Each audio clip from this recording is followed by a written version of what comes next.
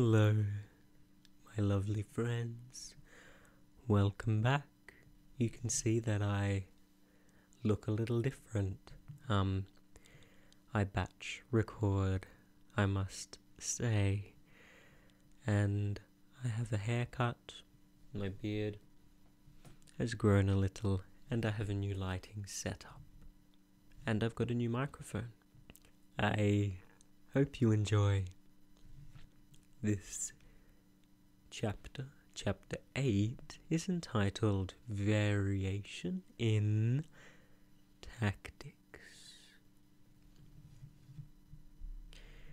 The heading means literally the nine variations, but as Sun Tzu does not appear to enumerate these, and as indeed he has already told us that such deflections from the ordinary course are practically innumerable, we have little option but to follow Wang Xi, who says that nine stands for an indefinitely large number.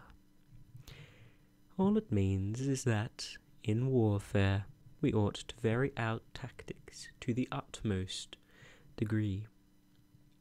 I do not know what Cao Kung makes these nine variations out to be, but it has been suggested that they are connected with the nine situations of chapter 11.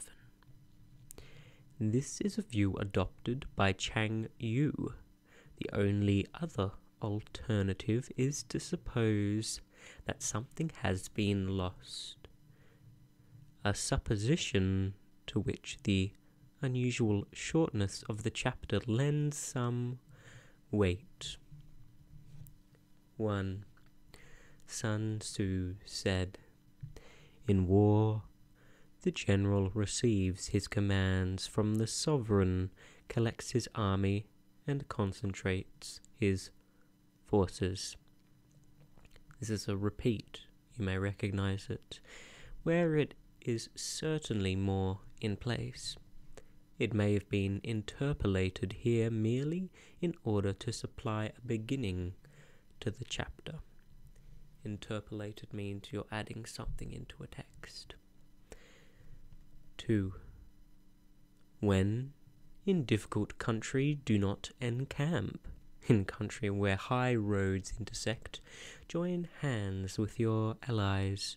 Do not linger in dangerously isolated positions.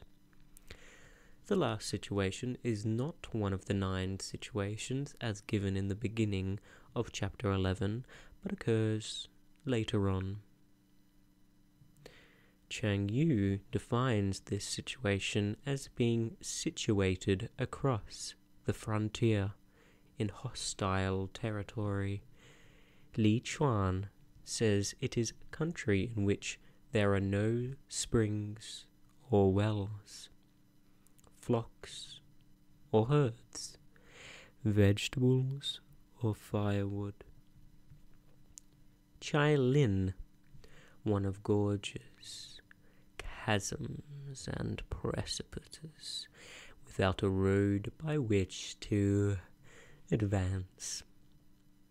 Hemmed in situations, you must resort to stratagem. In desperate position, you must fight. 3. There are roads which must not be followed especially those leading through narrow defiles, says Li Chuan, where an ambush is to be feared. Armies which must not be attacked, more correctly perhaps, there are times when an army must not be attacked. Chen says, when you see your way to obtain a rival advantage but are powerless to inflict a real defeat, refrain from attacking for fear of overtaxing your men's strength. Towns which must not be besieged. Cao Kung gives an interesting illustration from his own experience when invading the territory of Su Chu, he ignored the city of Yupi, which lay directly in his path, and pressed on into the heart of the country. The excellent strategy was rewarded by the subsequent capture of no fewer than 14 important district cities.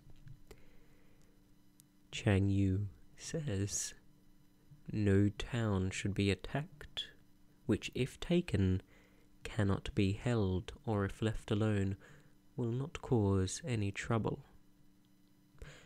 Sun Ying, when urged to attack Yang, replied, This city is small and well fortified. Even if I succeed in taking it, it will be no great feat of arms whereas if I fail, I shall make myself a laughing stock. In the 17th century, sieges still formed a large proportion of war. It was Turenne who directed attention to the importance of marches, countermarches, and maneuvers. He said it is a great mistake to waste men in taking a town when the same expenditure of soldiers will gain a province. Positions which must not be contested, commands of the sovereign which must not be obeyed. This is a hard saying for the Chinese, with their reverence for authority, and Wei Liao Tzu, quoted by Chu Mu, is moved to exclaim, Weapons are baleful instruments. Strife is antagonistic to virtue. A military commander is the negation of civil order. The unpalatable fact remains, however, that even imperial wishes must be subordinated to military necessity.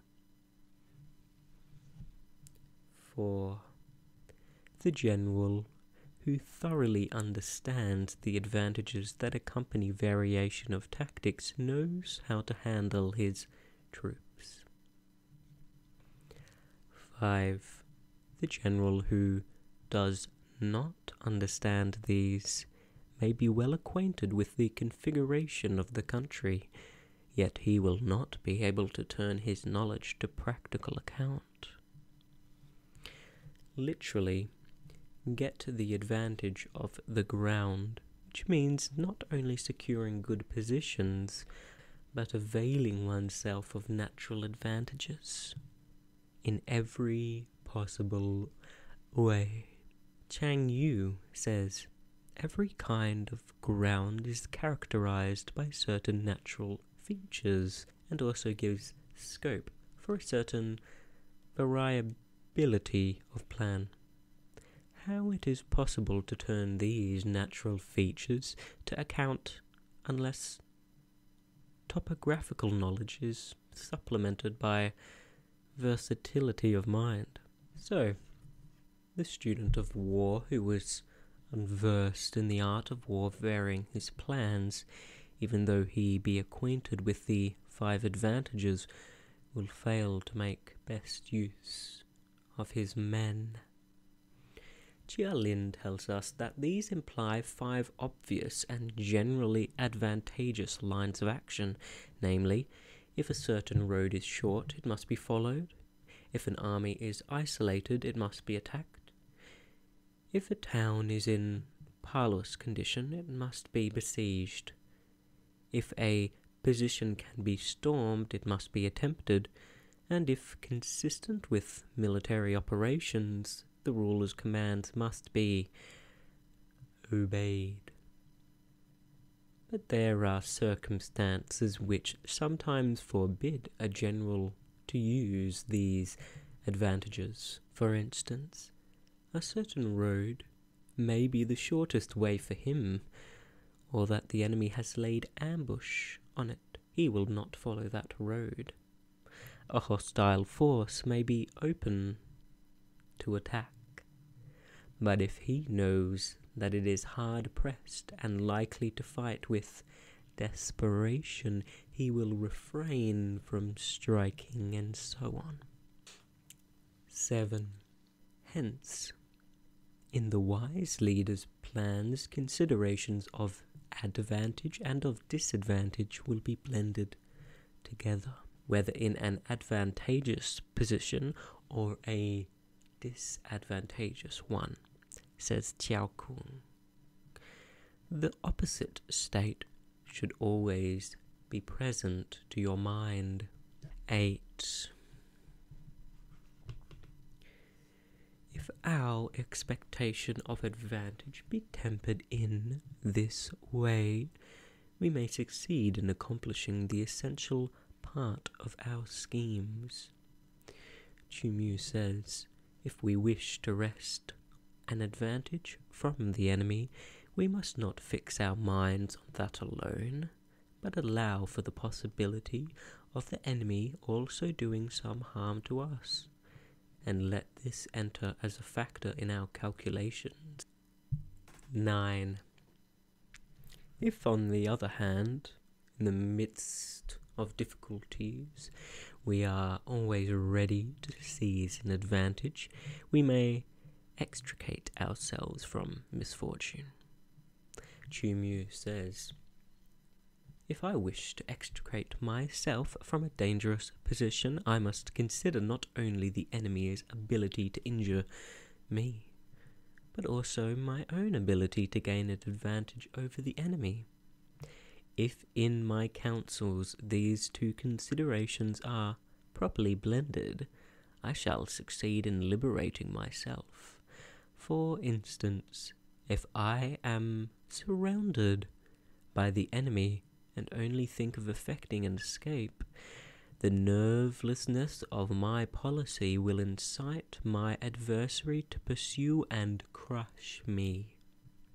It would be far better to encourage my men to deliver a bold counterattack and use the advantage thus gained to free myself from the enemy's toils.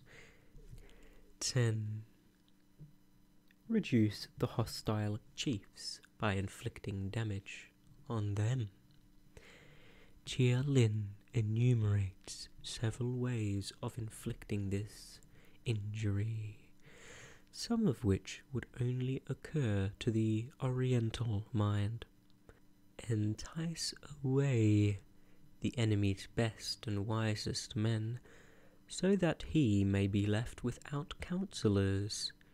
Introduce traitors in his country, that the government policy may be rendered futile. Foment intrigue and deceit, and thus sow dissension between the ruler and his ministers, by means of every artful contrivance, cause deterioration amongst his men and waste of his treasure, corrupt his morals by insidious gifts, leading him into excess, disturb and unsettle his mind by presenting him with lovely women. Zhang Yu, after Wang Xi, makes a different interpretation of Sun Tzu here. Get the enemy into a position where he must suffer injury, and he will submit of his own accord, and make trouble for them. Chu Mu in this phrase, in his interpretation, indicates that trouble should be made for the enemy affecting their possessions, or, as we might say, assets, which he considers to be a large army, a rich exchequer, harmony amongst the soldiers, punctual fulfillment of commands, these give us whip hand over the enemy. And keep them constantly engaged. Literally, make servants of them, Chu Yu says, prevent the from having any rest. Hold out specious allurements and make them rush to any given point. Meng Shi's note contains an excellent example of the idiomatic use of cause them to forget Pian, the reasons for acting otherwise than on their first impulse, and hasten in our direction.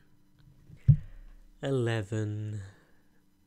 The art of war teaches us to rely not on the likelihood of the enemy's not coming, but on our own readiness to receive him, not on the chance of his not attacking, but rather on the fact that we have made our position unassailable.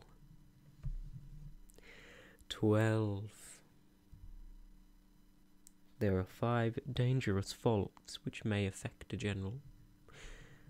1 recklessness, which leads to destruction, bravery without forethought, as Cao Kung analyzes it, which causes a man to fight blindly and desperately like a mad bull. Such an opponent, says Chang Yu, must not be encountered with brute force, but may be lured into an ambush and slain. Wu Tzu adds In estimating the character of a general, men are wont to pay exclusive attention to his courage, forgetting that courage is only one of the many qualities which a general should possess. The merely brave man is prone to fight recklessly, and he who fights recklessly without any perception of what is expedient must be condemned. Sima Fei, too, makes the incisive remark Simply going to one's death does not bring about victory. 2. 2. Cowardice, which leads to capture. Cao Kung defines the Chinese word translated here as cowardice as being of the man who timidly prevents from advancing to seize an advantage. And Wang Xi adds, who is quicker to flee at the sight of danger. Meng Shi gives the closer paraphrase, he who is bent on returning alive this is the man who will never take a risk. But as Sun Tzu knew, nothing is to be achieved in war unless you are willing to take risks. Tsai Kung said, He who lets an advantage slip will subsequently bring up himself real disaster. In 404 AD, Li Yu pursued the rebel Huan Xuan up the Yangtze. In 404 AD, Li Yu pursued the rebel Huan Xuan up the Yangtze and fought a naval battle with him at the island of Changyuan. The loyal troops numbered only a few thousand, while their opponents were in great force. But Huan Xuan fearing the fate which was in store for him should be overcome, had a light boat made fast to the side of his war junk, so that he might escape if necessary at a moment's notice. The natural result was that the fighting spirit of his soldiers was utterly quenched, and when loyalists made an attack, from windward with fire ships all striving with the utmost ardour to be the first in the fray, Huan Xuan's forces were routed. They had to burn all their baggage and fled for two days and nights without stopping. Chang Yu tells a somewhat similar story of Chao Ying Chi, a general of the Qin state, who during a battle with the army in 597 BC, had a boat kept in readiness for him on the river, wishing, in case of defeat, to be the first to get across. The third fault a leader can possess a hasty temper, which can be provoked by insults. Chu tells us that Yao Xing, when opposed in 357 AD by Huang Mei, Teng Chang, and others, shut himself up behind his walls and refused to fight. Teng Chang said, Our adversary is of a choleric temper and easily provoked. Let us make constant sallies and break down his walls. Then he will grow angry and come out. Once we can bring his force to battle, it is doomed to be our prey. This plan was acted upon. Yao Xing came out to fight, was lured as far as San Yuan by the enemy's pretended flight, and finally attacked and slain. 4. A delicacy of honour which is sensitive to shame. This need not be taken to mean that a sense of honour is really a defect in a general. What Sun Tzu condemns is rather a exaggerated sensitiveness to slanderous reports, thin-skinned man who is stung by opprobrium, however undeserved. Mei Yao Chen truly observes, though somewhat paradoxically, the seek after glory should be careless of public opinion. 5. Over solicitude for his men, which exposes him to worry and trouble. Here again, Sun Tzu does not mean that the general is to be careless of the welfare of his troops. All he wishes to emphasize is the danger of sacrificing any important military advantage to the immediate comfort of his men. This is a short sighted policy because, in the long run, the troops will suffer more from the defeat, or, at best, the prolongation of the war which will be the consequence.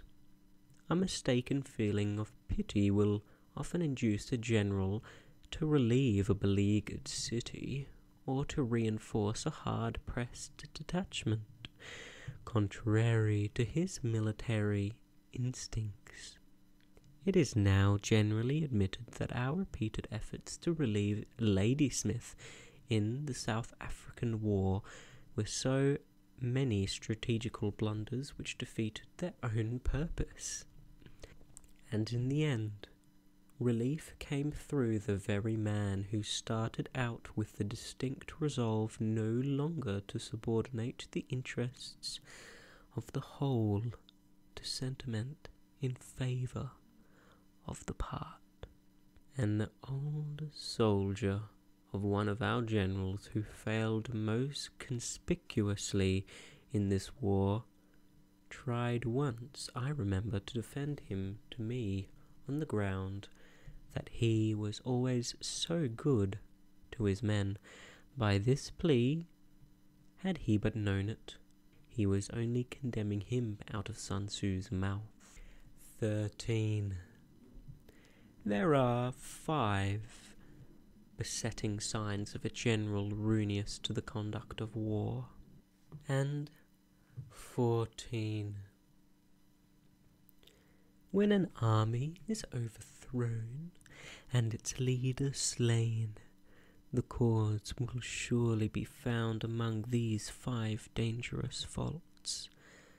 Let them be a subject of meditation.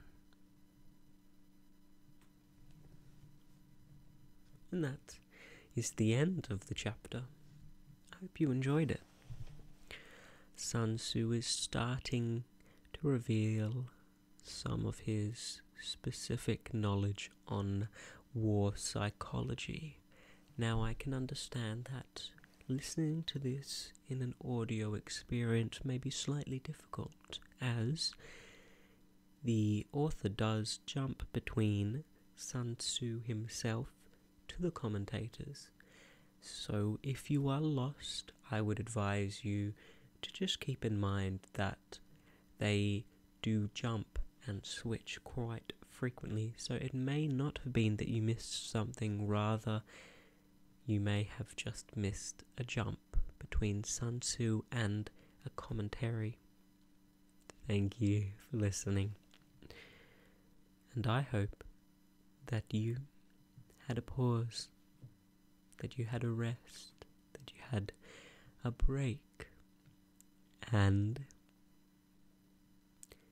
good night.